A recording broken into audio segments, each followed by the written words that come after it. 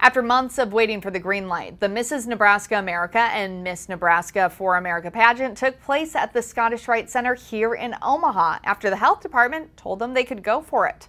3 News Now reporter Daniel Davis gives us a look at what it was like putting together a pageant during a pandemic. Good morning, Courtney.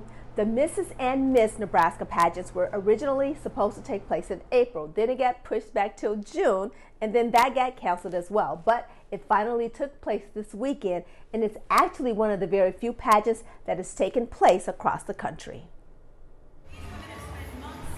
The gowns, glitz, and glamour all halted due to COVID 19. But with some changes, the months of preparing and waiting paid off. With that, we had to cut capacity to 50%, so we were able to hold about 250 people, I believe, here. And then we obviously also encouraged people in the audience and family and friends to go ahead and live stream it so that way people that weren't able to get tickets and be here could still feel like they were a part of it and see what was going on. Every other row was roped off with no one allowed to sit, and masks had to be worn by those in the audience. They broke it up into, uh, I believe it was three groups and so each group, my group had four, and then the other two groups had five contestants. So they just kind of split it up. Judges also wore masks and were separated by full tables in between their groups. As husbands sat in the audience taking care of the kids, the ladies finally took to the stage. We tried to keep them in the loop as much as possible, and so I want to say probably at least in the last month they kind of knew that this was the date and just keep working towards, okay, we're gonna do this, we're gonna do this.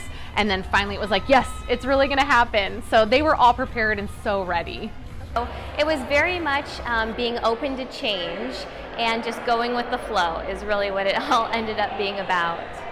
As it is normal for only one lady to be the center of attention on stage, not too many changes had to be done there.